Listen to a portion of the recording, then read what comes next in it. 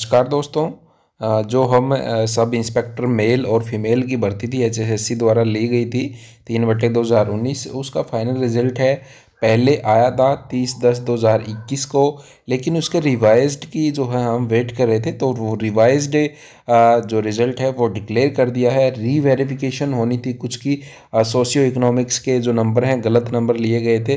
तो ऐसे कैंडिडेट्स के बाद अभी है रीवेरिफिकेशन हुई थी और उसके बाद ही ये जो रिवाइज रिज़ल्ट है, आया है।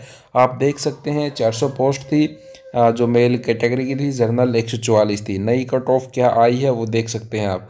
ये आप देख सकते हैं छियासठ पॉइंट चालीस है जनरल वेटिंग पैंसठ पॉइंट अस्सी है। ये आप इसको देख सकते हैं कैटेगरी वाइज जिसका सिलेक्शन हुआ, यहाँ पे रोल नंबर डायरेक्ट यहाँ पे सर्च करके आप देख सकते हैं। ई डब्ल्यू एस की पैंसठ पॉइंट अस्सी पर लगी है। एक्स वगैरह की भी देख सकते हैं यहाँ पे। जो है डिसेबल्ड है एक्स सर्विशमैन की भी लगी है पैंतीस पॉइंट दो और एक्स जो खुद हैं अठावन पॉइंट चार लगी है डिपेंडेंट की भी। ये आप देख सकते हैं।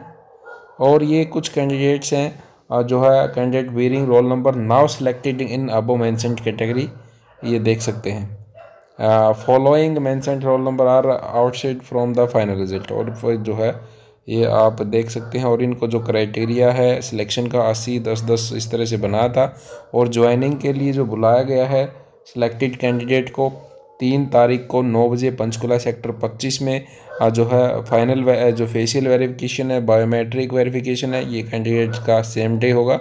और जो है जो आपको तीन जो है, नौ बजे तीन तारीख को पहुँचना है। ऐसे ही सेम सेम महिलाओं के लिए है, आप इसको ऑफिशियल साइट पे जाके देख सकते हैं।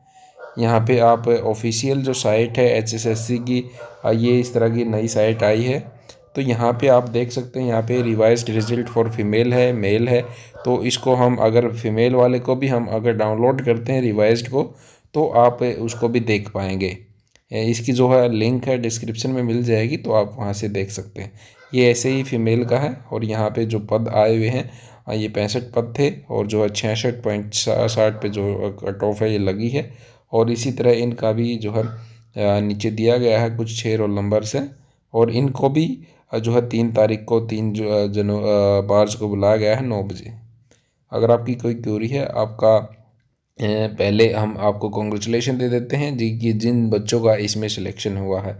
अगर आपकी कोई क्यूरी है तो आप हमें कमेंट बॉक्स में बता सकते हैं। धन्यवाद।